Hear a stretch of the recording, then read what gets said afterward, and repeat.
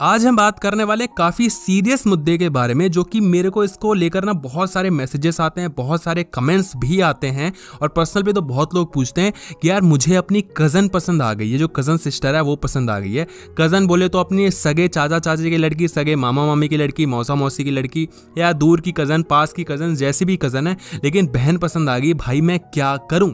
फिर मुझे समझ में नहीं आता कि इनका रिप्लाई मैं क्या करूँ? मैं भी वहाँ पर कोई रिप्लाई करता नहीं हूँ तो मैंने सोचा क्यों ना एक ऐसी वीडियो बनाई जाए, जिससे माइंडसेट क्लियर हो कि ऐसा क्यों होता है और अगर पसंद आ गई तो मुझे क्या करना चाहिए? सबसे पहली चीज़ कि अगर तुम्हें अपनी कज़न बहन पसंद आ गई तो सबसे पहले अपने दिमाग का इलाज करवाना चाहिए। वो बहुत ज़्यादा ज़रूरी है। वीडियो वीडियो तो देखते रहोगे लेकिन जाओ किसी साइकेट्रिस्ट के पास और उसको दिखाओ कि दिमाग में कौन से नर्व सेल्स तुम्हारे डाउन हो गए जैसी गंदी गंदी चीज़ें तुम्हारे मन में आ रही हैं। अब कुछ लोग यहाँ पर इमोशनल हो रहे होंगे भाई कैसी बातें कर रहा है? हमारे समाज में तो ये अलाउड है।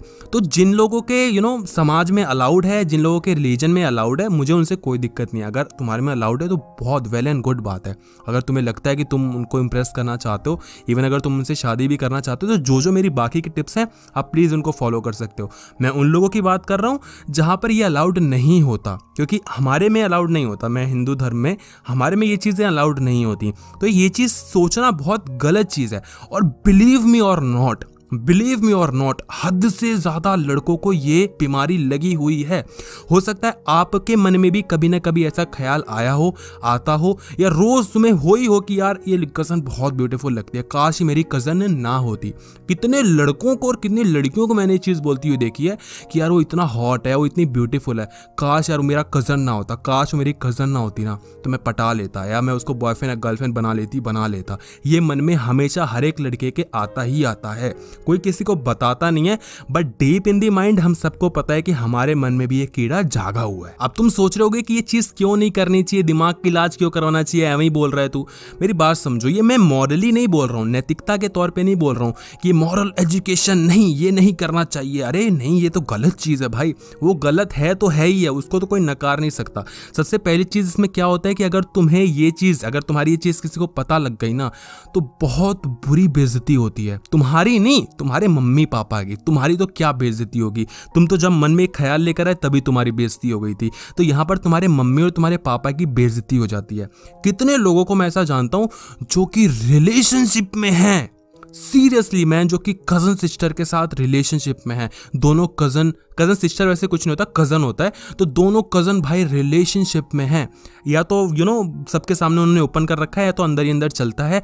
और मैं कितने लोगों को ऐसा जानता हूँ जो कि फिजिकली भी इन्वॉल्व हैं। बिलीव मी और नॉट मैं भी शॉक दूँ भाई तुम्हें बताते हुए बट ऐसा होता है। इसलिए मैं सोचा कि वीडियो बनानी ही पड़ेगी। तो ऐसा क्यों होता है, ऐसा क्यों नहीं होता, समझते हैं। सबसे पहली चीज़ कि ऐसा इसलिए होता है क्योंकि लड़कियाँ तुमको भाव नहीं देती हैं। लड़कियों से तुमको अटेंशन नहीं मिलता है। लड़कियों की बहुत भारी कमी है तुम्हारी लाइफ में। अब लड़कियाँ हमें दिख नहीं रही हैं, लड़कियाँ हमसे बात करती नहीं है तो गिन चुन के एक दो लड़की हमसे बात करती है, वो हमारी खुद की कज़न होती है। अब ऐसे में हमें हवस का इतना नंगा नाच चढ़ा हुआ होता है कि हमें हवस के सामने कुछ दिखाई नहीं देता। कम ऑन ये हवस ही। होती है जो लड़की तुमको पसंद आ रही है देख के। पहले भी क्लियर कर चुका हूँ, प्यार व्यार नहीं है ये ये हवस है, ठीक है? तुम्हारी जो जवानी है वो निखर रही है और लड़कियाँ तुमको भाव नहीं दे रही, वहाँ पर कुछ मिल नहीं रहा है तो तुम अपनी कज़न पे गंदी चीज़ें देख रहे हो, गंदी नज़रें डाल रहे हो कहना चाहिए, है ना? तो क्योंकि वो तुम्हें भाव दे रही है भाई समझ के, तुम उस पर गंदी नज़रें डाल रहे हो, उससे कुछ कुछ बातें करते हो उसके मन में कुछ कुछ सवाल लेकर आते हो अपने दिमाग में और उसको सोच के तुम गंदी हरकतें कर रहे हो। और तुम समझ रहे कौन सी गंदी हरकत की बात कर रहा हूँ?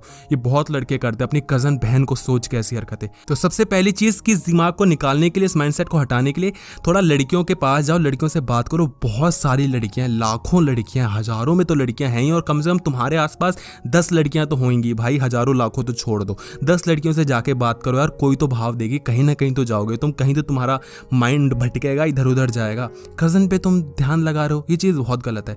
और जो लोग सच में इन्वॉल्व हैं, जहाँ पर उनकी कज़न भी उनको लाइक करती है, या जो भी दोनों के बीच टाँका चल रहा है तो भाई उसको ख़त्म कर लो। क्योंकि आज नहीं तो कल ये चीज़ें निकल कर आएँगी ही आएँगी। और अगर निकल कर आएँगी तो तुम्हारी बहुत गंदी वाली टूटेगी। तुम अपनी तो बेजती करवाओगे ही करवाओगे, अपनी मम्मी और अपने पापा की भी बेजती कराओगे। पूरा समझ लो पूरी फैमिली रिलेशंस खत्म हो जाएँगे, पूरा फैमिली बर्बाद हो जाएगा तुम्हारा कि तुमने क्या हरकतें कर दी। क्योंकि ये चीज़ें बहुत जल्दी यू नो वायरल होती हैं। मैं बताता हूँ, मेरी मम्मी मुझे बताती रहती अरे, वो पता है, वो वो वो वाला का वो वो, मुझे नहीं पता किसकी बात करते, लेकिन वो का वो का, वो, उसने अपनी वो की वो की वो की वो की लड़की के साथ शादी कर लिया, वो तो रिश्ते में लगते हैं। मैं सोच रहा, है? उसकी उसकी की उसकी की, उसकी वो रिश्ते में लग गए। मम्मी बोलती है, और नहीं तो क्या? रिश्ता तो रिश्ता होता है। समझ रहे हो? माइंड ये होता है, ये फैमिली ऐसे सोचती है। दूर तक के भी अगर तुम शादी कर लेते हो तो बोलते कि, अरे, इसने तो पाप कर दिया, क्या कर दिया इसने? तो सोचो, तुम तो खुद की कज़न को पसंद किए बैठे हो। खुद की कज़न के साथ तुम्हारा टाँका चल रहा है, भाई छोड़ दो ये चीज़ बेजती हो जाएगी। अब यहाँ पर क्या क्या मुश्किलें आ सकती है, मैं तुम्हें बताता हूँ। ऐसा हो सकता है कि तुम चाहकर भी उससे दूर नहीं हो सकते। हो सकता है कि तुम्हारी जो फैमिली है, वो ज्वाइंट फैमिली में तुम रहते हो, अकेले रह नहीं सकते, सब लोग एक साथ रहते हैं चाचा चाची या मौसा मौसी या मामा मम्मी सब लोग एक साथ रहते हैं तो दिखेगी तो है ही, भाई मैं ऐसे में क्या करूँ? ऐसे में सबसे सही तरीका है कि उससे तुम बातचीत करना बंद कर दो, कम कर दो। लोगों के सामने अब तुम सोचोगे कि अगर लोगों को पता लग गया कि हम दोनों एक दूसरे से नाराज़ हैं तो क्या? इतना किसी को फ़र्क नहीं पड़ता। भाइयों बहनों में लड़ाई झगड़ा होता रहता है। ये सब चलेगा, लेकिन बात बात करना तुम थोड़ा कम कर दो। एटलीस्ट दो चार महीने उससे बात मत करो, क्योंकि ये चीज़ हटना ज़रूरी है। इस बीच क्या होगा, तुम्हें भी शायद कोई और लड़की पसंद आ जाएगी, उसको भी कोई और लड़का पसंद आ जाएगा, सब सही हो जाएगा। लेकिन उसे बात करना कम करो। तो तुम जितना बात करोगे, उतना ही ज़्यादा तुम्हें यू नो ये सब दिमाग खराब होगा तुम्हारा। और ऐसा मुश्किल तब हो जाता है जब लड़की खुद तुम्हें पसंद कर रही होती तुम्हारी कज़न भी तुमको पसंद कर रही होती क्योंकि तुमने उसके माइंड में ये सब चीज़ें गंदी भर रखी होती हैं। वो भी तुमको पसंद करने लगती है। और कई बार तो ऐसा होता है कि उनकी एज इतनी छोटी होती है कि उनको सही गलत का पता भी नहीं होता। ये ज़्यादातर पता है कब होता है? ये बारह तेरह साल से लेकर अट्ठारह सत्रह साल के बीच में होता है। अगर तुम इससे बड़े हो, तब भी तुम्हारे माइंड में चल रहा है और ये चीज़ें हैं तो फिर मैं तो क्या ही बोलूँ भाई? दिमाग है, तब भी यूज़ नहीं कर रहे हो तुम। और सबसे सही तरीका तो इसका यही होता है कि तुम अपने कज़न से बहुत दूर रहो। जैसे अगर तुम जॉइंट फैमिली में रहते हो तो किसी काम के लिए, कॉलेज के काम से किसी जॉब वॉब के लिए अगर तुम चाहते हो तो दूर हो जाओ। उस घर में रहो ही मत। और अगर तुम बार बार मिलने जाते हो, अगर तुम सेम घर में नहीं रहते, लेकिन उसके घर बार बार तुम मिलने जाते हो कि पसंद आ रही है तो ये चीज़ भी छोड़ दो, ये चीज़ भी काम बंद कर दो। और जो तुम्हारे लाइफ में अभाव चल रहा है लड़कियों का, जिसकी वजह से तुम अपनी कज़न पे ध्यान लगाए बैठे हो तो उसको अभाव को कम करो। अपने अंदर कुछ ऐसा लेकर आओ, जहाँ पर तुम लड़कियों के साथ घुल मिल कर बात कर सको। क्योंकि तुम लड़कियों से बात नहीं कर पाते हो, इससे तुम्हारी लाइफ में लड़कियाँ नहीं है। और जब लड़कियाँ नहीं है, इससे तुम अपनी कज़न पे ध्यान दे रहे हो। तो कुछ ऐसा उखाड़ लो लाइफ में, जिससे तुम बाहर जाके कुछ यू नो दिखो भाई, दुनिया बहुत बड़ी है और वहाँ पर जाके दिखो सस्टेन करो और वहाँ पर जाके लड़कियों से बात करो गर्लफ्रेंड्स बनाओ।